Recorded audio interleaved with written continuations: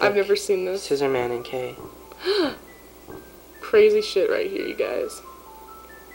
This is so weird. Now here's where he laughs with Helen, but he doesn't laugh with you. Oh. So, it was you, Edward. But he has like a double voice, and it's like, The secret is finally out, Oh my god. That's this dialogue is so creepy. But my name isn't Edward. name isn't Edward. It's, It's Dan. why is it so high pitched? That's so gay. You don't mean? No. This isn't as bad as when I played it on with PS2. So, you remember me now. The I mean the the dub is a lot more close to the lettering. Mm. Like it, it said let or he said let's play or no it said let's play again Jennifer and like 20 seconds later Mhm. he actually said it, or whatever something. And Nolan comes in. Oh. What? I don't know. It's supposed to happen. Otherwise you can't get No. ending A. So you run. And look, we have the statue. Oh my gosh. Let's put it in the hole fast.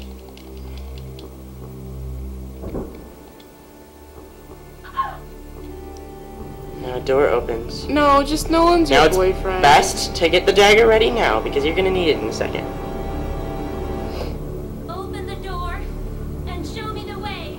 Nah, e sh- Shit. nah, e shit.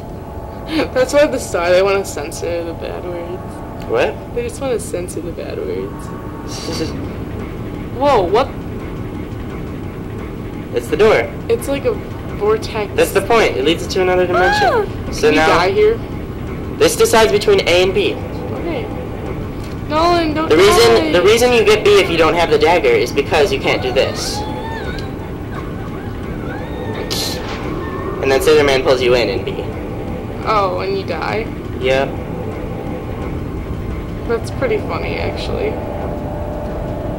Oh. Well, Now the door closed. regardless if he's too old for her, that's really sweet. And that is the end of A. Now there's a cutscene. Get ready for it. Uh, this is my first time seeing this. It'd be funny if it like the game crashed or something. That would suck. Well, I could reload it because I have I have all of them saved. So Mhm. I wonder how many days have passed since we were locked in here. Um, and then she gets pregnant at the end of the game with the new Scissor Man. Are we going to yeah, except Am I right? no, Oh. except he's not a he's not a Barrows. I'm sure It- So they can make a new. Scissor. The guy has to be one of the Barrows for it to work, and then they have to do the ritual, which she would never do the ritual. You. The ritual where you have to like kill crows and stuff. It's from the first game. You're just weak. Oh. It's so corny. Oh, that's so cute. Even though he's too old for her.